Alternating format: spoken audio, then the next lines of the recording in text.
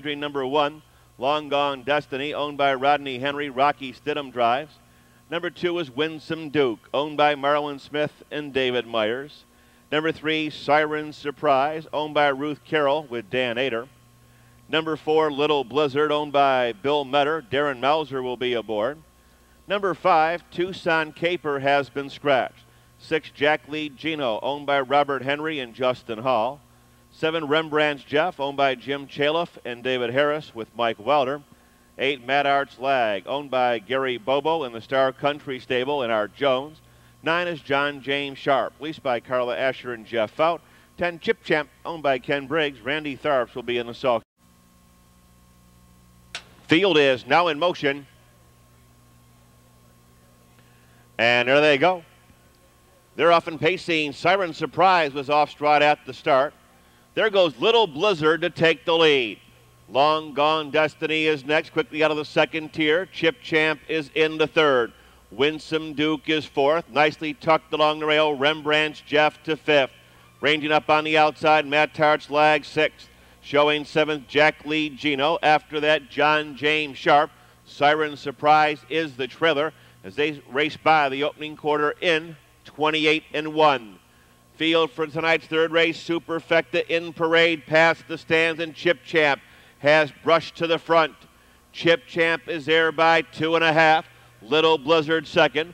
Long Gone Destiny third.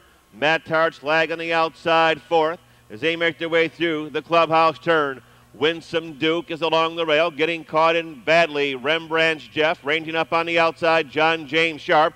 Jack Lee Gino and Siren Surprise is now a dozen from the lead.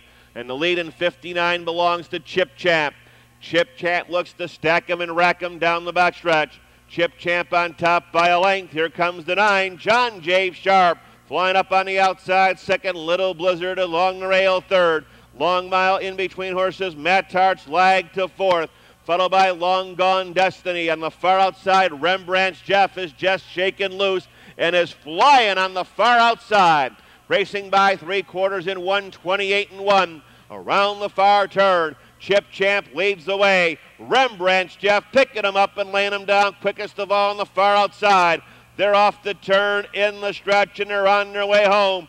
Darting to command on the far outside. Rembrandt's Jeff now gets the lead. Rembrandt's Jeff, Little Blizzard, Chip Champ. Here comes Long Gone Destiny closing on the inside. Deep stretch. Rembrandt's Jeff Little Blizzard, and one Long Gone Destiny third. Four Little Blizzard. Four-year-old bay gelding by Ann Fitch out of Chris Starmite. Owned in Lebanon by Bill Metter. Ran and trained by Darin Mouser. Covering them out here in 158 and 3 and a lifetime best for four. Little Blizzard, the unofficial winner.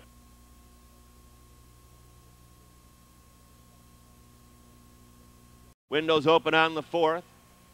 Ohio Sire Stakes for two-year-old trotting fillies. First leg, second division, field of nine. In the fifth race, scratch number six, Hoosier Knight. Fifth race, scratch six, Hoosier Knight. Seventh race, Jim Daly driving seven, My Last Bid.